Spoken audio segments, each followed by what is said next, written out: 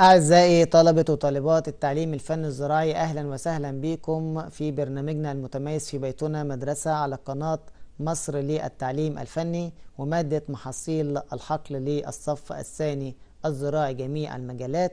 وحلقة اليوم هي الحلقة السابعة هنستكمل فيها الباب الثاني الخاص بالمحاصيل السكرية. وزي ما شفنا محصول الأساسي وهو محصول قصب السكر النهاردة هناخد محصول جديد وهو محصول بنجر السكر. ودي هتكون الحلقة السابعة في الترم الأول للعام الدراسي 2021-2022 تعالوا مع بعض ليه آه بندرس محاصيل السكرية وليه عايزين ننتج أو نركز بالعلم على زيادة إنتاج السكر لأن السكر طبعا زي ما شفنا أن هو أحد يدوب 70% معنى كده إن الإنتاج في مصر من قصب السكر وبنجر السكر مش بيكفي احتياجات السكان نظرا للزيادة العددية أو السكانية الكبيرة. وطبعا اتكلمنا في بعض الحلول وكان أهم الحلول دي كان اتنين مهمين جدا خاصين بمحصول بنجر السكر وهو عشان أحل مشكلة نقص الإنتاج من السكر في مصر لأن إحنا عندنا مشكلة واقترحنا بعض الحلول زي استنباط أصناف عالية. تعالوا نشوف مع بعض ليه هندرس بنجر السكر وكان من ضمن أسباب حل هذه الأزمة إن أنا أزود إنتاج السكر بزيادة المساحات المنزرعة ببنجر السكر خاصة في الأراضي الحديثة والرملية والجيرية والمتوسطة. تاني حاجة إن أنا أستورد من الخارج تقاوي بنجر تتحمل الملوحة وتناسب الظروف الجوية. بالظبط ده كان حل من الحلول إن أنا أخرج من مشكلة نقص إنتاج السكر. عشان كده هيكون محصول اليوم خاص ببنجر السكر وهو تاني أهم المحاصيل السكرية في إنتاج السكر. وكان الأول طبعا القصب قصب السكر ده تلتين الإنتاج من السكر في العالم بيعتمد على قصب السكر تلتين الإنتاج من العالم. عشان كده هو أهم محصول. فبنجر السكر تاني أهم المحاصيل. هندرسه برضو بنفس الكيفية من, من حيث الأهمية الاقتصادية والمعاملات ما قبل وما بعد الزراعة حتى الحصاد. تعالوا نشوف مع بعض بنجر السكر ليه محصول مهم ونتابع مع بعض أهميته الاقتصادية. الأهمية الاقتصادية لبنجر السكر تتلخص فيها الآتي. أول أهمية على الإطلاق وهي استخراج السكروز من الجذور. ودي قلنا ميزة بتختلف عن القصب. القصب استخراج السكر من قصب السكر كان من السقان أما هنا البنجر استخراج السكروز ده أهم نقطة من الجذور. تاني أهمية اقتصادية لبنجر السكر عروش النباتات اللي هي ما يسمى بالتاج والأوراق بيتم استخدامها كعلف أخضر في تغذية الحيوانات. ثالث نقطة تخلي بنجر السكر محصول مهم اقتصاديا إن الملاس والكزب بيستخدم أيضا في تغذية الحيوانات ورابع نقطة وأهمهم إن هو محصول شتوي بيتحمل الملوحة وبيزرع في الأراضي الجديدة. بشكل عام الجذر في بنجر السكر في المتوسط بيحتوي على 75% مية وخمسة في المية ألياف ودي اللي بيتم استخدامها في إنتاج العلف. وبيحتوي أيضا على عشرين في المية ما يسمى مواد صلبة زائبة عبارة عن ستاشر في المية سكروز وأربعة في المية مواد غير سكرية. يا ترى إيه الأسباب اللي خلت محصول بنجر السكر مكمل لقصب السكر مش منافس ليه؟ ناخد بالنا من الموضوع ده.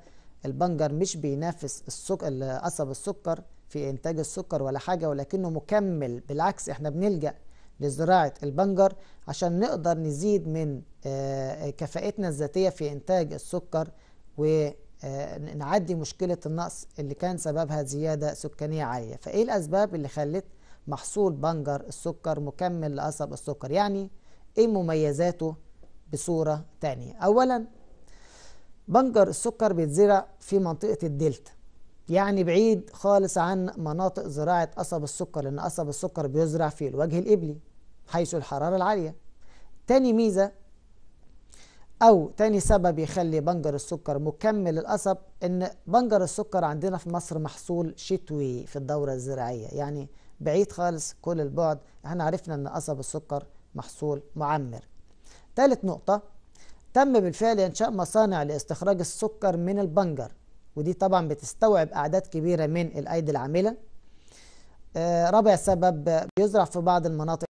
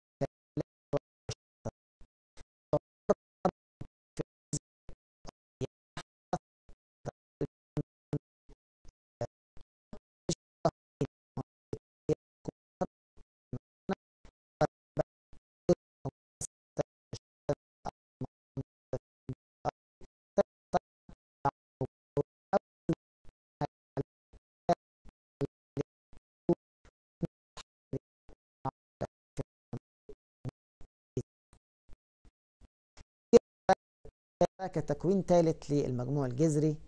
زي ما واضح أيضا معانا في الصورة ده الجزء المنتفخ تحت الرقبة مباشرة وده الجزء اللي بيكون متعمق في التربة. وهو ده المنطقة الاقتصادية لنبات بنجر السكر وبتمثل حوالي 80% من طول الجذر كمجموع كلي. ننتقل إلى الأوراق أوراق بنجر السكر. زي ما إحنا شايفين ورقة بسيطة معنقه لها عنق بتكون عريضة خضراء اللون. التاج طبعا بيشيل عدد كبير من الأوراق في نظام حلزوني, حلزوني متعاقب. الأوراق بتوزن عند الحصاد حوالي 40% من وزن الجدر. الأوراق بس عشان كده بيديني أطنان من العرش وقت الحصاد بقدر أستخدمه كعلف للإنتاج الحيواني. فالأوراق بتزن حوالي 40% من وزن الجدر وشكلها طبعا بيختلف باختلاف عمرها. فالأوراق الصغيرة في العمر بيكون العنق بتاعها قصير والنصل مستدير لكن الأوراق الأكبر سنا بتصبح قلبية الشكل لها عنق طويل والنصل بتكون الحافة بتاعته مموجة وسطحه أملس أو مجعد. الأزهار طبعا النبات برضو البنجر مش هنشوف له أزهار آه تحت الظروف المصرية. لكن بشكل عام آه لما النبات بيتهيأ للإزهار محتاج حرارة منخفضة ونهار طويل. وده عكس محصول القصب زي ما اتكلمنا بالظبط ليه القصب مش بيظهر قلنا عشان بيحتاج حرارة عالية ونهار قصير. لكن بنجر السكر عشان يظهر محتاج حرارة منخفضة ونهار طويل. طبعا الظروف دي مش متوفرة في مصر زي ما هنتابع ونشوف. عامة الأزهار الساق القزمية بتستطيل وبتديني ساق اسمها ساق زهرية بتشيل الأزهار بتكون صغيرة جلسة كاملة خضراء بتتجمع كل اتنين وتلاتة مع بعض. طبعا زي ما قلت إن محصول بنجر السكر من المعروف إن هو مش بيظهر تحت الظروف المصرية عشان النبات بيحتاج حرارة منخفضة. ما ينفعش تزيد عن 10 درجة مئوي يعني الحرارة اللي بيحتاجها النبات للتزهير من صفر إلى 10 درجة مئوي لمدة شهر أو شهرين أثناء فترة الشتاء وده مش متوفر عندنا في مصر فبالتالي مش هنشوف أزهار للبنجر في مصر. والظاهرة دي أو الاحتياج ده بيعرف بحاجة اسمها ارتفاع الجذور. وبالتالي واضح من الكلام اللي قلناه إن زراعة بنجر السكر في مصر بتعتمد على استيراد البذور من الخارج ودي حقيقة فعلية. إحنا عشان نزرع بنجر بنستورد البذور من الدول الأوروبية. الثمار كوصف نباتي لبنجر السكر بتتكون من اتحاد زهرتين أو أكتر. بتكون كرة غير منتظمة الشكل.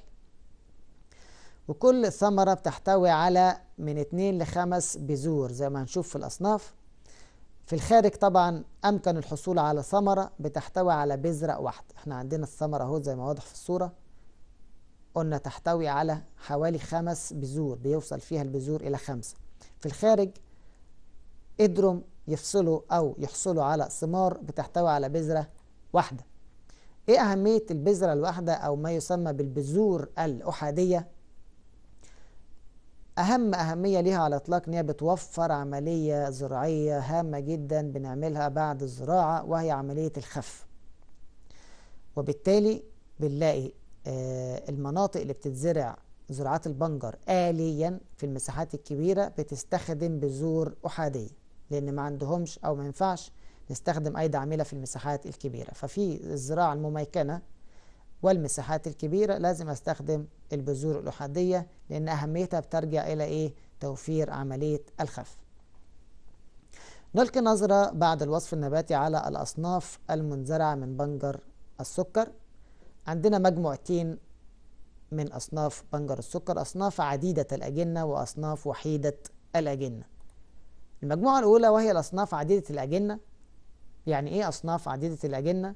يعني الثمرة الواحدة بيكون فيها عند الإنبات يعني لما أزرع الثمرة ويحصل إنبات وتكشف ونمو هيطلع لي كام نبات؟ يطلع لي من اتنين لست نباتات في الجرة الواحدة عشان كده بحتاج حاجة اسمها عملية خف دي مفهوم الأصناف عديدة الأجن. يعني الثمرة الواحدة بتديني كذا جنين كذا نبات كذا نمو. أهم هذه الأصناف كاوميرا راسبولي تريبل جلوريا. ناخد بالنا من المسميات ونميز ما بينها. المجموعة الأولى من أصناف البنجر وهي الأصناف عديدة الأجنة أهمها كاويميرا راسبولي تريبل جلوريا. طب المجموعة الثانية وهي الأصناف وحيدة الأجنة اللي أشرنا عليها سابقا. ويعني إيه صنف وحيد الأجنة؟ يعني لما بأزرع الثمرة هي okay ما فيهاش غير بذرة واحدة فهيديني جنين واحد. عشان كده وحيدة الأجنة. بزرع الثمرة اللي ما فيهاش غير بذرة واحدة فعند الإنبات والتكشف والنمو بتديني نبات واحد. أهم الأصناف وحيدة الأجنة وهي صوفي وماراثون وإيفا. صوفي وماراثون وإيفا. الأصناف وحيدة الأجنة طبعا زي ما قلنا بتصلح للزراعة الآلية ودي مص يعني تم إنتاجها من الأصناف عديدة الأجنة أصلا عن طريق برامج خاصة بإنتاج الأصناف ونقدر نحول الصنف من عديد الأجنة إلى وحيد لكن العكس لا طبعا ما ينفعش. وطبعا لولا موضوع إنتاج الأصناف وحيدة الأجنة كان الدول المتقدمة مش هتقدر تزرع بنجر السكر لعدة أسباب طبعا أهمها عدم توفر الأيدي العاملة.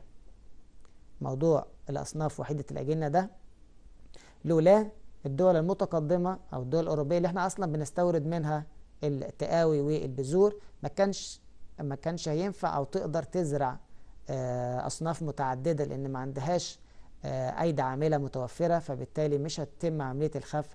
وعملية الخف لو ما تمتش بترك نبات واحد في الجورة باظ المحصول ومش هينفع ننتج بنجر منه ده ده ده ميزة الأصناف وحيدة الأجنة في الدول المتقدمة وفي المساحات أيضا الكبيرة والمساحات المميكنة لعدم توفر الأيدي العاملة.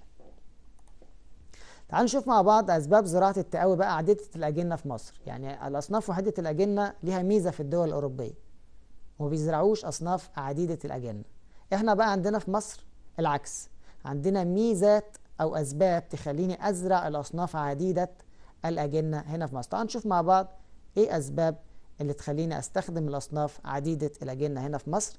أول سبب إن إحنا متوفر عندنا الايدي العاملة اللازمة لإجراء عملية الخف. يبقى أنا هنا عندي ايدي عاملة أقدر أعمل عملية الخف فبستخدم أصناف عديدة الأجنة. تاني حاجة سعر التقاوي دي بيكون رخيص. مقارنة طبعا بالأصناف وحيدة الأجنة اللي تم استخراجها أو إنتاجها من خلال برامج إنتاج الأصناف. سعرها بيكون عالي جدا. ثالث ميزة بالأصناف عديدة الأجنة بقدر أفادي الإصابة بالحشرات في العروة المبكرة وخاصة الحفار والدودة القاردة ودودة ورقة القطن. وبقدر أزرع مقارنة طبعا بالتقاوى وحيدة الأجنة بحيث إن التقاوى عديدة الأجنة فيها أكثر من خمس بذرات بالجرة الواحدة. عايزين نفهم الحتة دي. إزاي بقى أتفادى الإصابة سواء بالأمراض أو بالآفات؟ أنا لو زرع صنف وحيد الأجنة في جورة وجات له إصابة حشرية أو مرض أو آفة راحت الجورة دي حصل غياب فالإنتاج هيقل. لكن لما أزرع الأصناف عديدة الأجنة اللي فيها الجورة بيكون فيها عدد الأجنة أو عدد النباتات من 2 ل 6 لو في نبات اتصاب بالمرض أو بالآفة أنا كده كده بستبعد أضعف النباتات في عملية الخف. بستبعد أضعف النباتات واللي متصابة. فدي ميزة عندي لما أستخدم الأصناف عديدة الأجنة في زراعة البنجر هنا في مصر. دي ميزة إن أنا بقدر. أتخلص من ال... النبات اللي تم إصابته وأترك النبات اللي صحته كويسة. دي بالنسبة للنقطة الثالثة رابع نقطة الزراعة بالتقوي وحدة الأجنة بتحتاج طبعا إلى زراعة بذرة واحدة في الجورة وده عايز زراعات آلية آه وتشترط طبعا نظم جديدة للري زي الري بالرش والري بالتنقيط وده ممكن يكون مش متوفر في بعض المزارع عندنا في مصر آه خاصة في الأراضي القديمة زي مناطق الدلتا كلها آه ري غمر. فأنا عشان أزرع بالأصناف وحدة الأجنة. يعني هزرع بذرة واحدة في جورة واحدة يبقى أنا عايز أستخدم طريقة ري حديثة زي طريقة الري بالرش أو بالتنقيط. وقلنا ده مش متوفر عندنا. طيب تعالوا نشوف مع بعض الصنف اللي أنا عايز أزرعه من بنجر السكر. في مواصفات معينة لازم أختارها في الصنف؟ طبعا في صفات واجب توفرها في أصناف بنجر السكر أهمها ارتفاع نسبة الإنبات وانتظامها. أنا يهمني إن الغيط كله يكون عمر واحد ومنتظم في النمو. البذرات تكون قوية خاصة في الزراعات المتأخرة اللي بتتعرض لحرارة منخفضة. مش يجي يدخل البرد آه على الزراعة بتاعتي يقوم النبات متأثر بالبرد دي مشكلة. فدي أول نقطة. لازم أختار صنف تكون نسبة الإنبات فيه مرتفعة ومنتظمة ونمو البذرات يكون قوي.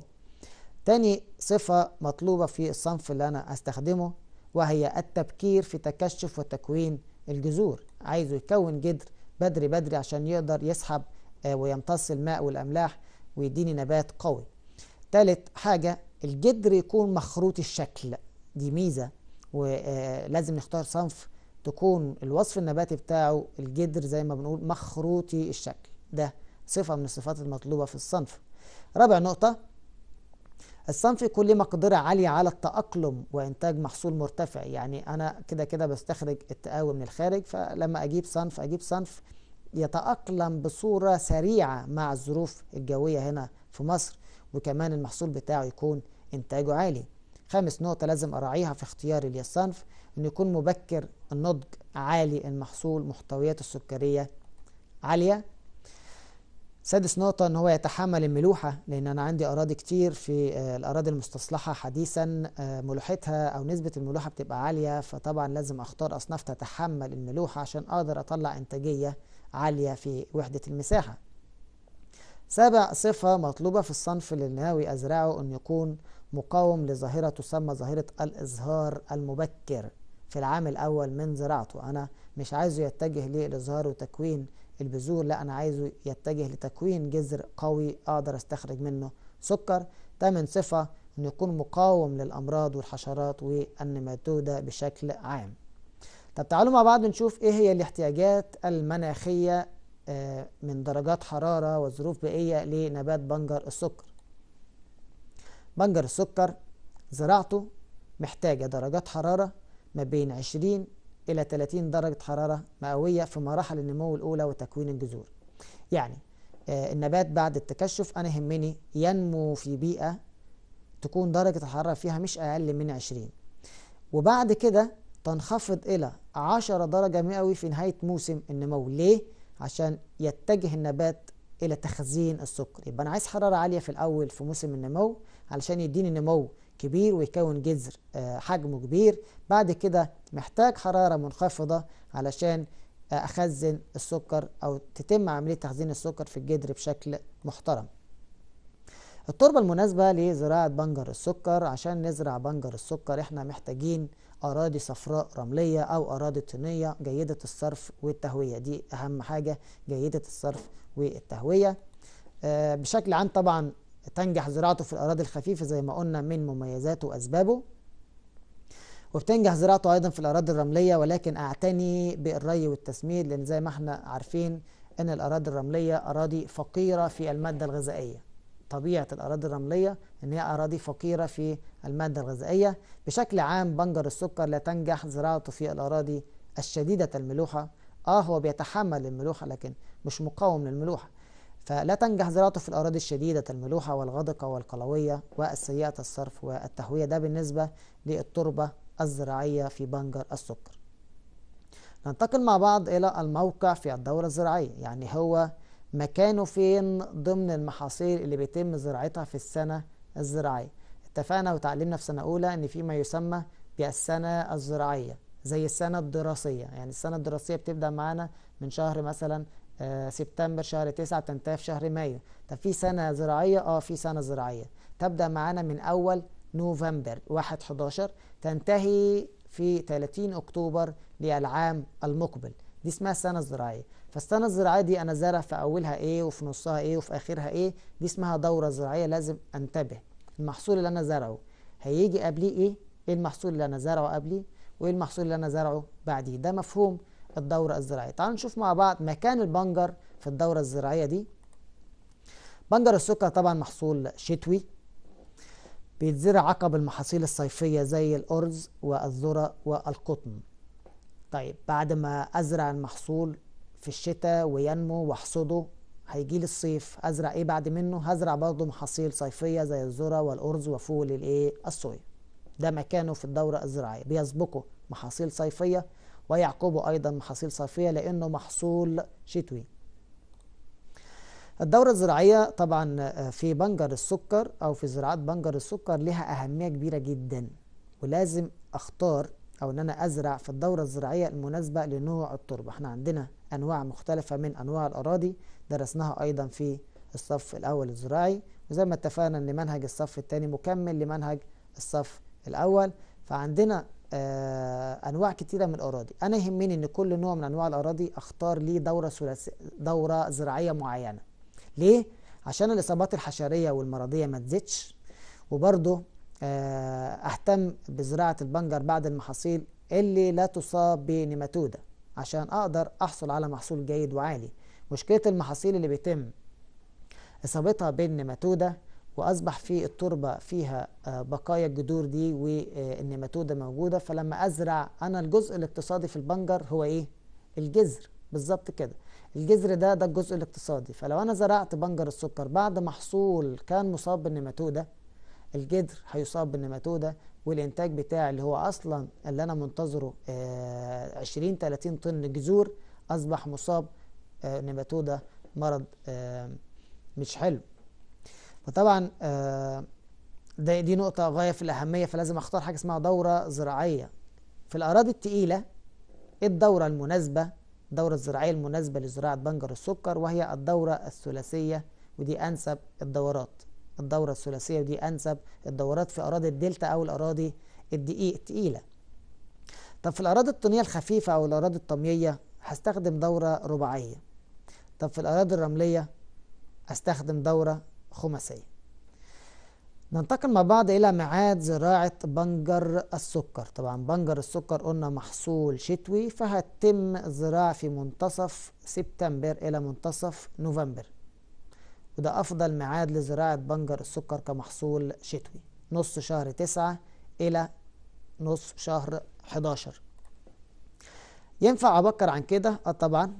أقدر أبكر في الزراعة خلال شهر أغسطس ولكن آه أنتبه لمقاومة دودة ورق القطن لو أنا زرع بعد قطن طبعا فور ظهور الإصابة. أول ما تظهر معايا الإصابة في الغيط من دودة ورق القطن أعمل مقاومة مباشرة.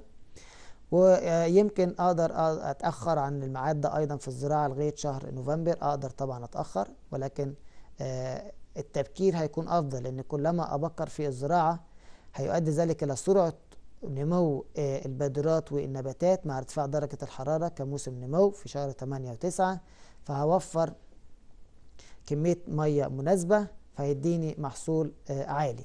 المحصول طبعا هيتعرض لدرجات حرارة مناسبة أثناء الحصاد يعني درجة حرارة منخفضة فنسبة السكر أيضا هتزيد بنسبة كبيرة ومش هيحصل تدهور للجذور. دي مميزات للزراعة المبكرة لكن التأخير مش حلو.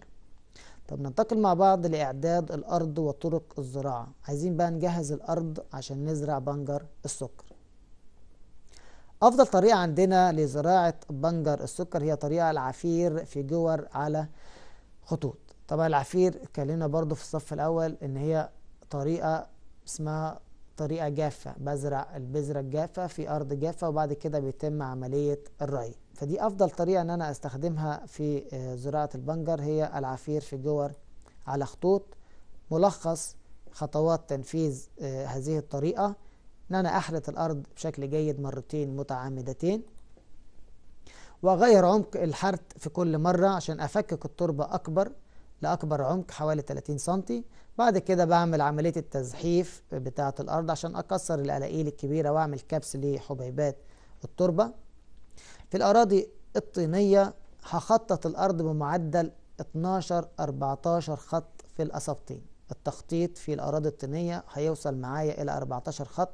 ده في حالة الزراعة العادية. وبزرع على ريشة واحدة وبحط من 3 ل 4 بذور في الجورة الواحدة. على مسافة 20 سنتي ما بين الجورة والتانية وعمق البذرة يكون حوالي 3 سنتي. طب في الأراضي الخفيفة بعمل مصاطب مش خطوط بعمل مصاطب بمعدل 8 آه، خطوط في الأسابتين 8 مصاطب يعني في الأسابتين وبزرع هنا على الرشتين. في الأراضي الرملية بزرع على الرشتين وبتكون الزراعة على ظهر المصطبة في صفين. ما بين الصفين مسافة 50 سنتي وبيتم وضع البذور طبعا من 3 ل 4 بذور في الجورة بحيث تكون الجورة على مسافة 20 سم وأيضا عمق 3 سم ده في الأراضي الخفيفة. بعد كده بيتم تقسيم الأرض سواء في الأراضي الطينية أو الرملية إلى فرد عرض الفردة من 5 ل 8 متر حسب درجة استواء الأرض. وبعد كده أعمل عملية مسح الخطوط زي ما اتعلمنا أو مسح المساطب بشكل جيد. وبعد كده ألف الأني والبتون.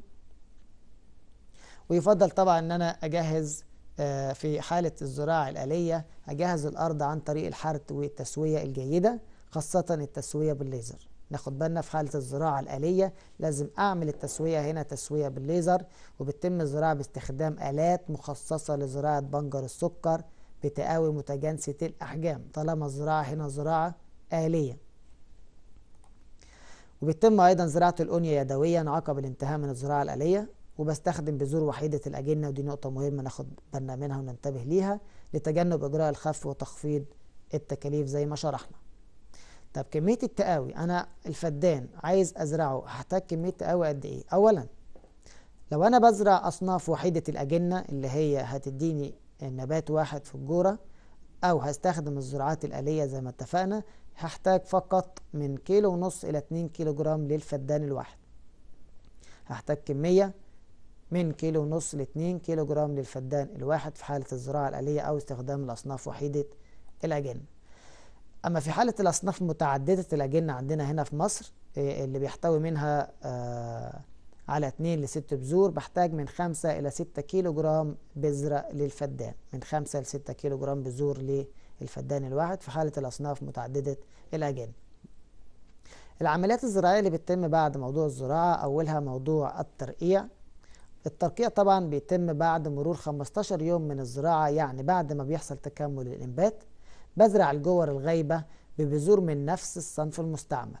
ومش بس كده تكون منقوعة في المية لمدة 12 ساعة والهدف من النقع في المية الإسراع من الإنبات مع طبعا الري عقب الترقيع مباشرة. يبقى أنا هنا في موضوع الترقيع. هنتظر 15 يوم بعد الإنبات. بحيث أضمن أن الغيط بتاعي كله حصل فيه ظهور للبذرات أجي على الأماكن الخالية هزرعها ببذرة من نفس الصنف. بعد كده البذرة دي لازم تكون منقوعة طبعا لمدة 12 ساعة عشان أسرع من عملية الإنبات وبعد كده هروي مباشرة بعد الترقيع. تعالوا نشوف مع بعض إيه العوامل اللي بتؤثر على عملية الترقيع في بنجر السكر. في بعض العوامل بتحددني أنا همشي أرقع الأرض بتاعتي إزاي. أول نقطة وهو ميعاد الزراعة. بمعنى الزراعة المبكرة طبعا خلال شهر أغسطس ومنتصف سبتمبر بيتكمل الإنبات فيها بعد حوالي شهر. تاني حاجة بتتحكم معايا في موضوع الترقيع وهو الأصناف. فطبعا الأصناف بتتفاوت تفاوت كبير في ميعاد اكتمال الإنبات وغالبا الإنبات بيتكمل في الأصناف العالية في محصول الجذور مبكرا عن الأصناف عالية السكر. ننتبه لأن في أصناف بتديني أطنان من الجذور عالية ولكن السكر منخفض. وفي أصناف تانية بتديني محصول سكر كبير ولكن محصول الجذور منخفض. فده بيحصل إن الأصناف دي بتتفاوت في ميعاد اكتمال الإنبات. طبعا الأصناف العالية في محصول الجذور دي غالبا اللي بيتكامل إنباتها في مبكرا عن الأصناف العالية في محصول السكر. ثالث نقط عندنا من العوامل اللي بتتحكم في موضوع الترقيع وهو عمق الزراعة. بمعنى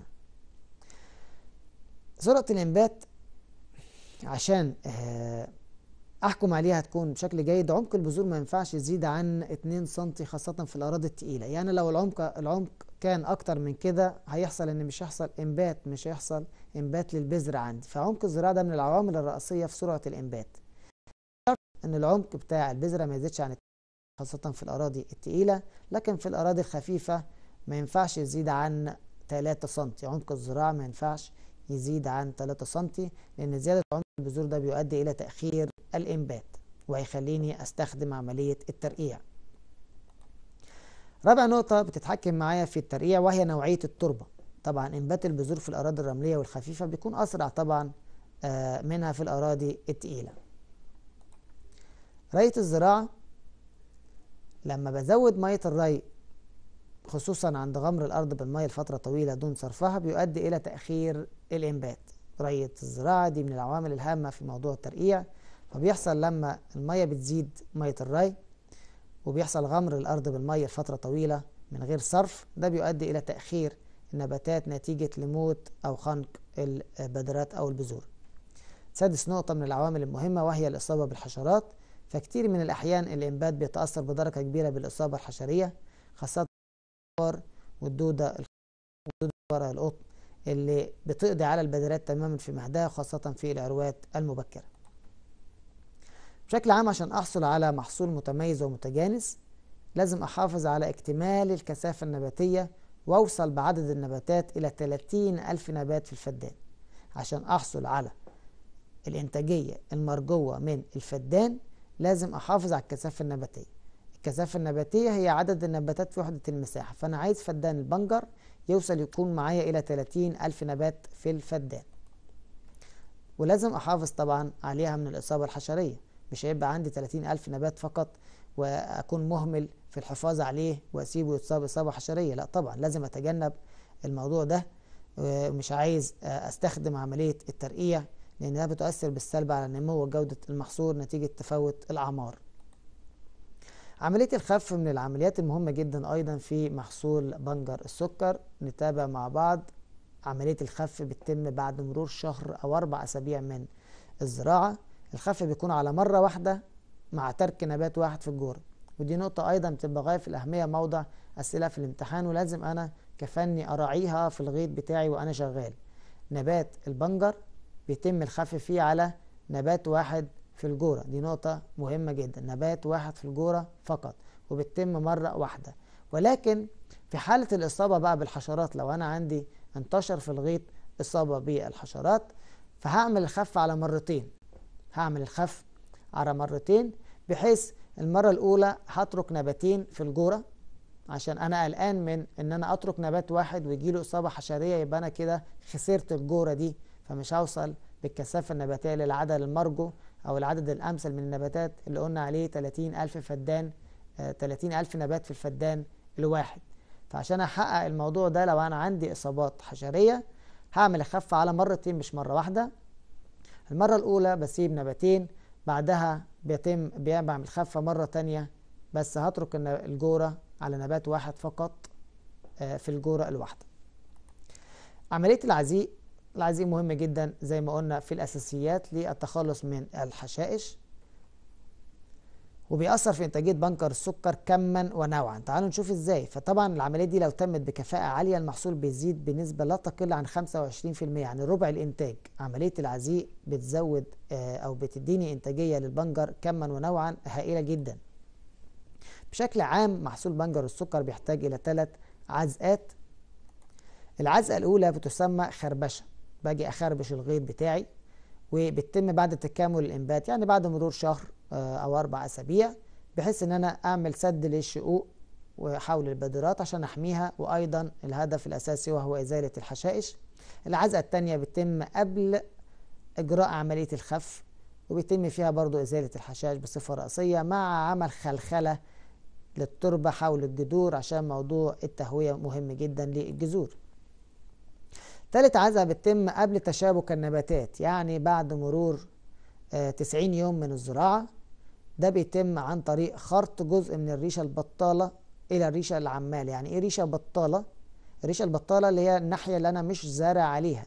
أما الريشة العمالة دي الناحية اللي أنا زارع عليها. فأنا باخد بخرط جزء من الريشة البطالة بالفاس وآخد الأتربة دي أوجهها إلى الريشة العمالة بحيث أضمن إن في العزقة الثالثة يكون النبات متواجد في منتصف الخط وده بيؤدي طبعا لتوفير مهد جيد للجذور. أنا عايز الجذر ينمو ويكون حواليه تربة جيدة ممتازة ومتوفر عملية تهوية بحيث ينمو ويديني فالموضوع ده بيوفر مهد جيد للجذور وبيساعد أيضا في زيادة معدل النمو وبالتالي زيادة تكوين السكر. بشكل عام عمليات العزيق اليدوي في زراعات بنجر السكر بنستخدمها خاصة في المساحات الصغيرة اللي هو يعني عندي فدان أو عندي عشرة فدان ممكن أستخدم أيدي عاملة في موضوع العزيق لكن المساحات الكبيرة بستخدم فيها العزيء الآلي. الحشائش ومقاومتها في بنجر السكر. بنجر السكر طبعا أهم الحشائش اللي بنشوفها في الغيط بتنمو فيه هي الحشائش الشتوية زي السلق. والجعضيد والكبر والدحريج وفجل الجمل والسريس والنفل. حاجات كتير قوي محاصيل شتوية حولية بتنمو في حقول البنجر. لكن الحشائش طبعا مصدر رئيسي للحشرات والأمراض. أهم الحشائش في حقول بنجر السكر. واللي بيصعب مقاومتها هي حشيشة السلق. تعالوا نعرف ليه حشيشة السلق من أهم الحشائش في حقول بنجر السكر. ومش بعرف أقاومها لأنها تشبه بادرات بنجر السكر. يعني في الشكل المورفولوجي وشكل الأوراق بيبقى في تشابه كبير ما بينهم ما بين السلق كحشيشة محصول بدرجة كبيرة فيصعب التعرف عليها من قبل الفني أو المزارع أو الفلاح وبيتم مقاومة الحشائش بإجراء عمليات العديد طبعا بشكل كامل. الزراعة الآلية والمساحات الكبيرة بيصعب فيها إجراء عمليات العزيء اليدوي أو في حالة الزراعة في المناطق الغير متوفر فيها الأيدي عاملة أو في المساحات الموبوءة بالحشائش فينصح طبعا باستخدام المبيدات. يبقى أنا هستخدم مبيدات الحشائش الموصى بيها في حالة لو أنا عندي مساحات موبوءة بالحشائش كتير جدا الحشيش منتشر أو مساحات مش متوفر بيها أيدي عاملة أو مساحات بيتم فيها الزراعة زراعات آلية بستخدم مبيدات الحشائش الموصى بيها. ننتقل إلى الحشرات اللي بتنتشر في بنجر السكر أهمها آه الحفار وده يقاوم طبعا بالطعم السام. وحشرات تانية زي الدودة القاردة ودودة ورق القطن والخنفساء الخضراء وسوسة البنجر والذبابة البيضاء وجميعها آه آه أو معظمها يقاوم بالطعم السام والمبيدات المناسبة. الأمراض أهمها البياض الدقيقي وتبقع الأوراق. وتبقع البني ودي بتقاوم بزراعة أصناف مقاومة. يعني أنا لما أجي أختار صنف أنتبه وأختار صنف يكون مقاوم لهذه الأمراض وما أسمتش بطريقة كبيرة لأن طبعا كثرة السماد بتزيد من انتشار الأمراض خاصة الأمراض الفطرية. ننتقل إلى التسميد. التسميد في محصول بنجر السكر نركز فيه لأن أنا كفني المفروض أكون واعي ومدرك الكميات اللي أنا أقدر أستخدمها مع المحصول ايا كان نوعه. فمحصول بنجر السكر بشكل عام محصول لا يتطلب كميات كبيرة من الأسمدة. طبعا السماد الأزوتي ده العامل المحدد في إنتاجية محصول بنجر السكر كما ونوعا. يعني السماد الأزوتي أو عنصر النيتروجين ده الأساس في إنتاجية المحصول الخاصة ببنجر السكر. فمحصول بنجر السكر بيحتاج إلى بعض المقررات السمادية هنقول عليها حالا. أولا السماد الأزوتي بنجر السكر الفدان هيحتاج من 60 ل 80 كيلو جرام أزوت. طبعا على حسب خصوبة التربة يعني لو الأرض خصبة هحتاج 60 أرض خصوبة متوسطة هحتاج 80 عشان كده في معدل أو في range من 60 ل 80 ففي حالة الزراعة في الأراضي الخصبة أو الزراعة بعد محاصيل الخضر يجب أن الكمية ما تزيدش عن 60 كيلو جرام للفدان زي ما قلنا. تاني نوعية من العناصر الغذائية لمحصول بنجر السكر أو الأسمدة المقررة السماد الفوسفاتي. الفدان بيحتاج من 100 ل 200 كيلو جرام سوبر فوسفات 15% للفدان تضاف مع تجهيز الأرض يعني الكمية دي بضيف منها 15% في مرحلة تجهيز الأرض للزراعة. في الأراضي التقيلة طبعا والقلوية والملحية بيفضل أن أنا أزود كميات السماد الفوسفاتي عشان أفكك التربة وتكون ملائمة لمحصول بنجر السكر. نركز تاني في موضوع السماد الفوسفاتي. أنا بحتاج من 100 ل 200 كيلو جرام سوبر فوسفات 15% من الكمية دي بضيفها مع تجهيز الأرض للزراعة. وفي الأرض التقيلة والقلويه والملحية الثلاث أنواعهم يفضل إن أنا أزود كمية السماد الفوسفاتي. ليه؟ علل لماذا؟ لأن طبعا السماد الفوسفاتي بيساعد في تفكيك التربة وبيخليها ملائمة لمحصول بنجر السكر. طيب السماد البوتاسي الفدان بيحتاج 50 كيلو جرام في صورة سلفات بوتاسيوم بتضاف في الأراضي الجديدة واللي بيها نقص العنصر البوتاسيوم وبنضيفها مع الدفعة الأولى من السماد الأزوتي. عنصر البورون وده يمكن أول مرة نسمع عنه مثلا في بعض المحاصيل اللي درسناها سابقا. عنصر البورون ده مهم جدا لمحصول بنجر السكر لأن التسميد بالعنصر ده بيزود تركيز السكر وبضيفه طبعا رش بمعدل نص كيلو إلى واحد كيلو حمض البوريك للفدان قبل الحصاد بحوالي شهر ونص أو ثلاث شهور. يعني قبل الحصاد بثلاث شهور أو شهر ونص أبتدي أرش حمض البوريك عشان أحصل منه على عنصر البورون لأنه مهم جدا العنصر ده في زيادة تركيز السكر وبيتم آه، استخدامه رشا. السماد الأزوتي بضيفه على دفعتين متساويتين الدفعة الأولى بضيفها بعد الخف مباشرة والدفعة الثانية بضيفها في الرية التي تليها مباشرة.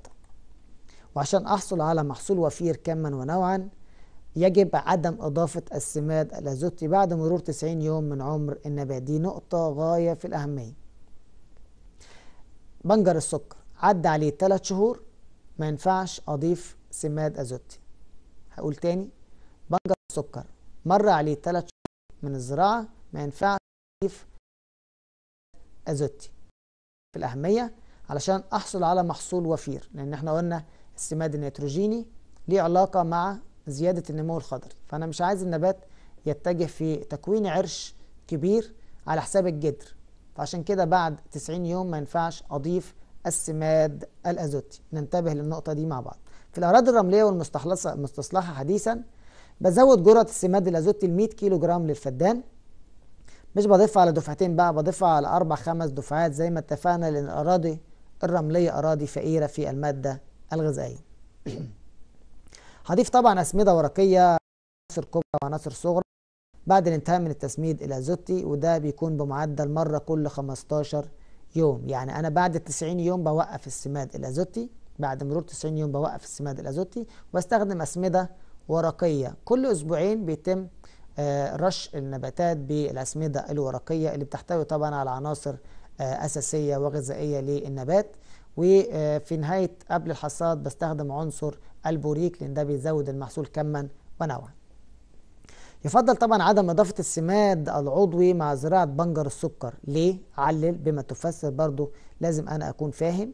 ما ينفعش أضيف سماد عضوي وأنا آه زارع بنجر السكر لأن السماد العضوي بطبيعته بطيء التحلل مش بس كده ده بيكون مصدر للأزوت وأنا عايز أمنع الأزوت خالص بعد مرور 90 يوم من نمو النبات طول حياة النبات ده بيؤدي إلى إيه؟ لو أنا آه استخدمت سماد عضوي هيزود معايا أو يكون مصدر للأزوت وطالما في مصدر للأزوت بعد مرور 90 يوم هيؤدي إلى تأخر نضج المحصول وانخفاض نسبة السكر. ناخد بالنا من الأسئلة دي بتيجي في شكل علل أو بما تفسر. لكن السماد العضوي يفضل طبعا إضافته للمحصول السابق أو اللاحق لبنجر السكر. عايز أضيف سماد عضوي الأرضي هشوف زي ما قلنا في الدورة الزراعية بيجي قبل بنجر السكر محاصيل صيفية. هستخدم معاها سماد عضوي أو بعد ما آه أستخدم أو أحصد بنجر السكر أبتدي أستخدم سماد عضوي براحتي مع المحصول اللاحق لبنجر السكر.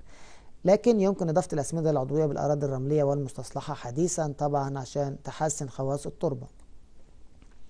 ننتقل مع بعض إلى ري بنجر السكر. الري في بنجر السكر بيحتاج المحصول إلى حوالي 4000 متر مكعب من المية طول فترة حياته. طبعا ده حسب الظروف الجوية من ارتفاع درجة حرارة أو انخفاض درجة حرارة وأيضا حسب نوع التربة. الأراضي الطينية بتحتفظ بالمية الأراضي الرملية مش بتحتفظ بالمية. فالمعدل ده 2500 متر إلى 4000 متر على حسب الظروف الجوية ونوع التربة.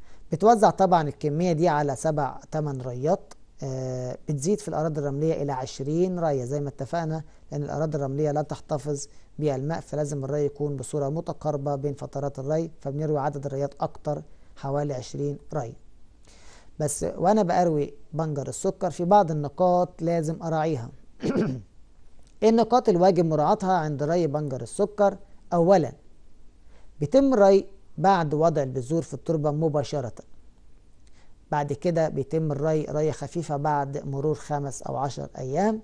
للمساعدة في ظهور البذرات يبقى أنا أول ما أزرع أو مروي مباشرة بعد مرور خمس أيام من رية الزراعة أو عشر أيام أبتدي أبتدي أروي ري خفيفة عشان أساعد في ظهور البذرات أنا عايز أقف معاكم في حلقة اليوم على موضوع الري ونستكمله في حلقة قادمة بإذن الله لأن موضوع بنجر السكر مهم جدا. فأعزائي الطلبة والطالبات نلتقي بكم في حلقة جديدة بإذن الله. انتظرونا وإلى اللقاء.